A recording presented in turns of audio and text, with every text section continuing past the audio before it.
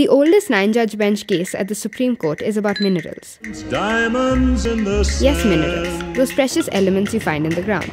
The crux of the case who should have the power to collect tax on them, the central government or state governments? The story began in 1957.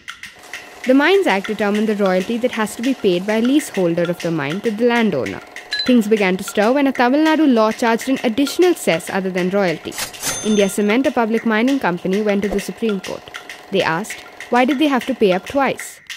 The court said that royalty is a tax, and therefore the state cannot levy additional cess in the name of taxes. For years, cases were decided based on this judgment. But there was an alleged mistake, a typographical error. Instead of writing royalty is a tax, the court was meant to write that the cess on the royalty is a tax, which the state government was not competent to impose. The result? Years of cases started piling up like a bad traffic jam. Currently, Jharkhand alone, one of the largest mining states, owes rupees 10,588 crores in taxes. On 14th March 2024, the Supreme Court reserved judgment on the matter. It has been around 50 years since the case opened.